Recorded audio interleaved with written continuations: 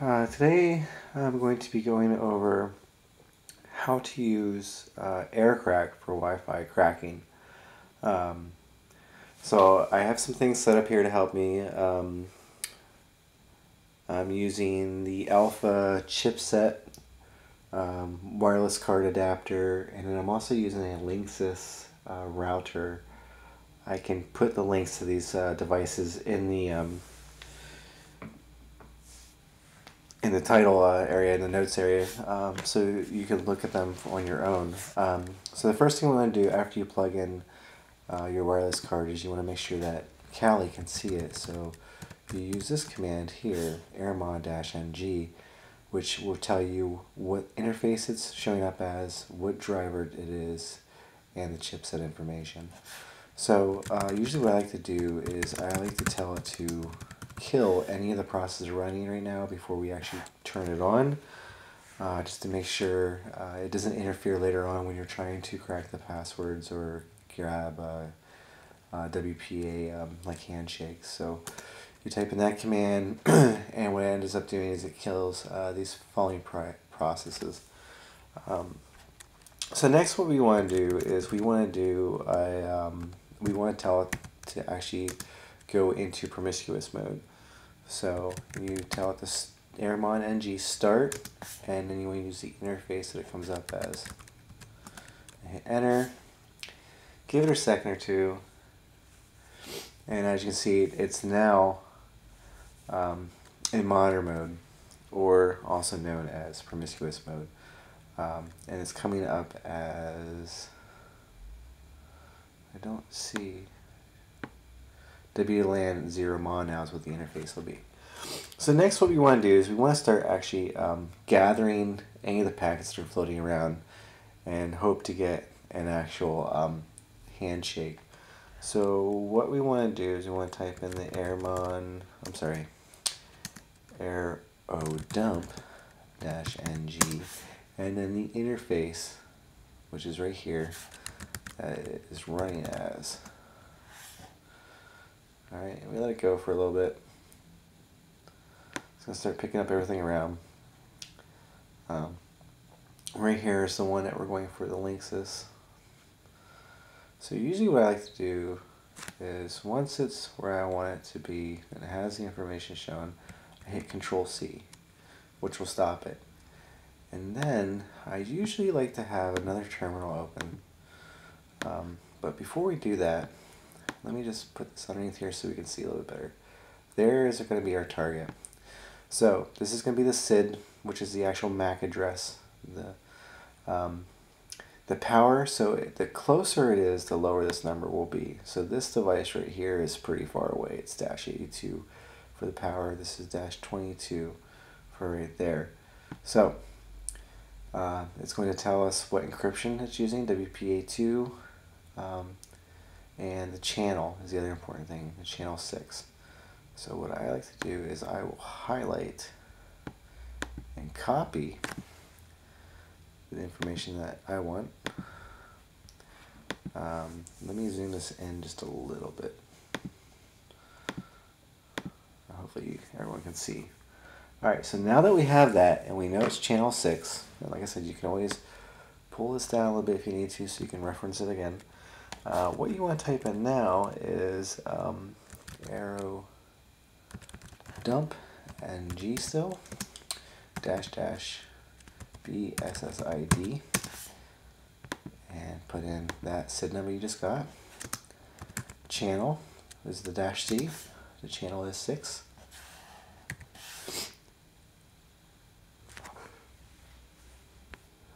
Um,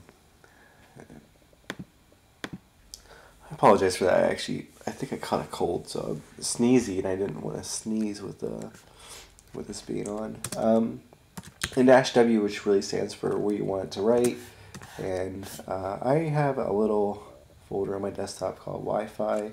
That's usually where I put it at. So uh, type in root desktop Wi-Fi, and then I'm just gonna name it as an uh, YouTube I can spell it right, YouTube.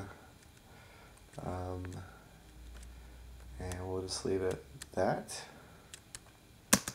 Um, and um, I'm sorry, and then uh, whatever the interface is. So this is what it, the breakdown is again. Arrow ng dash dash bssid, which you just put this in afterwards, dash c for channel, put in the channel six, and dash w or think of write uh, to this location. And what it's going to do is it's going to write the uh, cat file there. So when I hit enter, it's going to go for a little while. Um, and uh, hopefully it will pick up what it's supposed to be picking up. Oh, right there it did. See how this thing came up? It's a WPA handshake and then a number. Uh, this is the actual handshake with has the password in it for the for the router. So if I hit Control C, it's going to stop everything. Um, but I want to show you something here. Let's say for some reason you just cannot get this handshake. You sit there, you sit there, it keeps going, it keeps going, it keeps going. There's some commands that you can run to grab that. So the commands for that is what's called air, um, I'm sorry, air, air replay. So air replay, whoops, sorry, it's been a long morning already. Air replay, um, you want to do dash zero, which tells us to do deauthentication. Now this second one is how often you want these deauthentication packets sent. If you put a zero there, it's going to go for infinite. If you put 5 there, it's just going to run 5 of them. Okay. Uh, then dash A. So what A is, think of the access point. The access point is going to be this SID right here. Okay, so that is the access point where everything is running. Dash C is your client. So it's the device that is actually connected um, to that router, which as you can see right here is one. Right here would be all your clients that are connected. So you want to copy that. You want to paste that in there for client. And then of course you always have to put in what interface. So hopefully everyone can see that. Okay, so again, breakdown, air replay dash zero stands for deauthentication.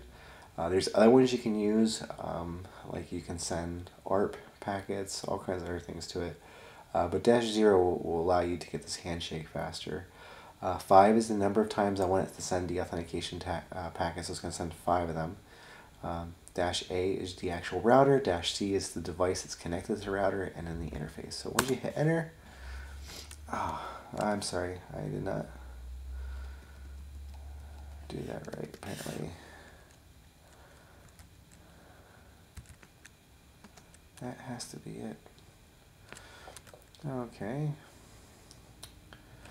Uh, let me just double check. I thought it was error replay, but it's error. Uh, Alright, let me just double check. I could have sworn it was error replay. It's been a while since I've done this, so I apologize. Oh, this is silly. Uh, it is correct, but I just forgot to put an NG at the end. So, that was my stump moment. So as you can see, it will send five deauthentication packets. Um, and usually you will have this thing running at the same time. And as you're running it, you may see the handshake. So what it's doing is it's, it's, it's kicking this device that's connected to the router off. And it's making it resend a handshake to be authorized to be back on. And you try to just capture it basically going through the, through the air. So, um, and then I'm to show you here, if you change this 5, let's say, see how I did it 5 times right here? So let's change this to a 10. Now it's going to do it for 10 times.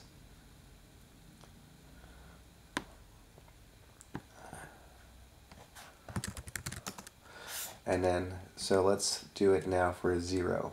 And what you'll see is it will just continuously go until you do like a control C. So it's just going to keep going, keep going.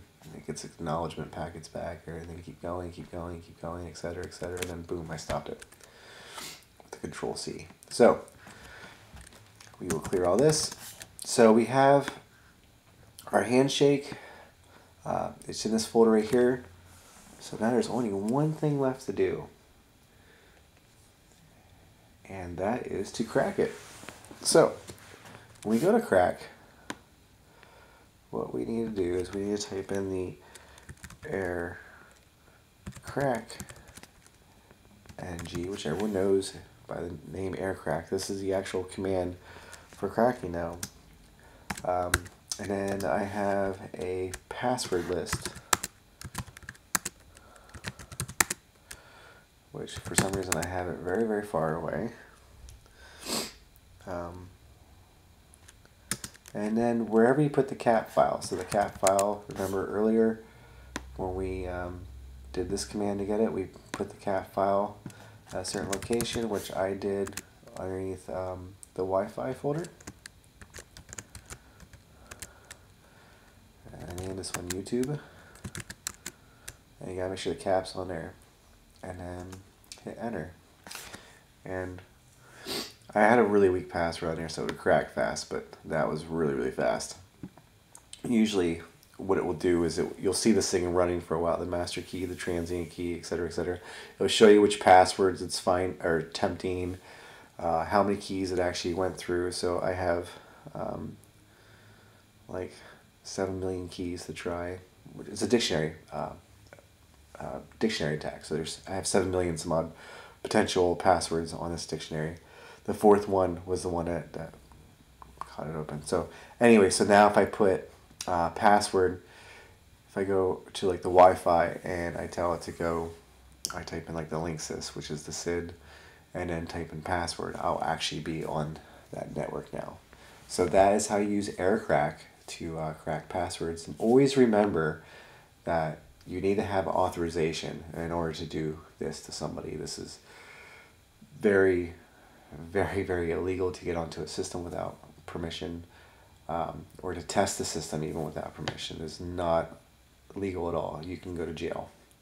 So I hope this was helpful uh, for class, and I will see you another time. Thank you for watching.